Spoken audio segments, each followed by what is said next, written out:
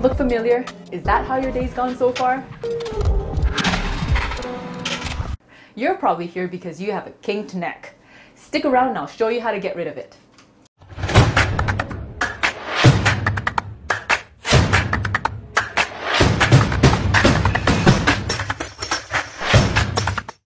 I'm Liz, physiotherapist from MyPhysio2Go.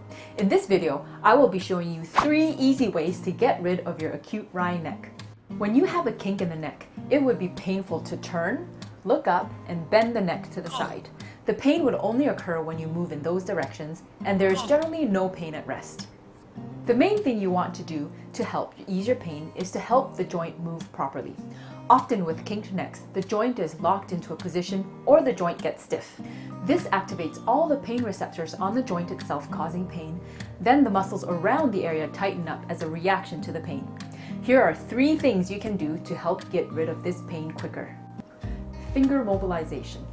If you have pain on the right side of your neck, place your finger on the spine, then shift your finger over about an inch to the right. Now push the finger forward and up toward the level of your eye as you turn the neck toward the painful direction. Move up or down on different levels of the spine to find the spot that allows you to turn more with less pain. Once you find the spot, repeat the finger mobilization 10 times for 3 sets.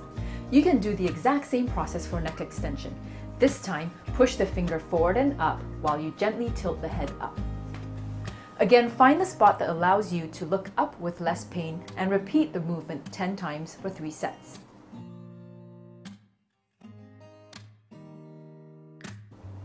The second way is towel mobilization.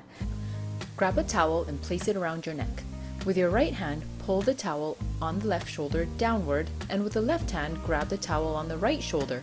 Pull the towel toward the left while you turn toward the left side. Experiment with different spots on your neck and find which spot allows you to turn most with least pain. Repeat 10 times, 3 sets.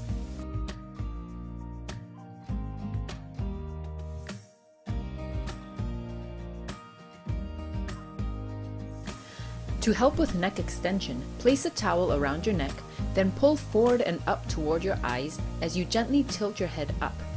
Find the spot that has least pain with more movement and repeat 10 times, 3 sets. Self-massage can also help ease the pain by loosening off the tight muscles that have formed as a result of the wry neck. Usually, you will find the muscles at the side of the neck and trapezius is tight and sore. Just give yourself a gentle massage using your fingers, a Theracane, or a shiatsu massager. Maybe if your friend or your partner is nice enough, they can give you a gentle massage. Make sure not to do a deep massage, especially near the stiff or locked joint, or it may worsen the condition. Please like and subscribe to our channel to see more videos on how you can help yourself through different injuries and conditions. See you next time!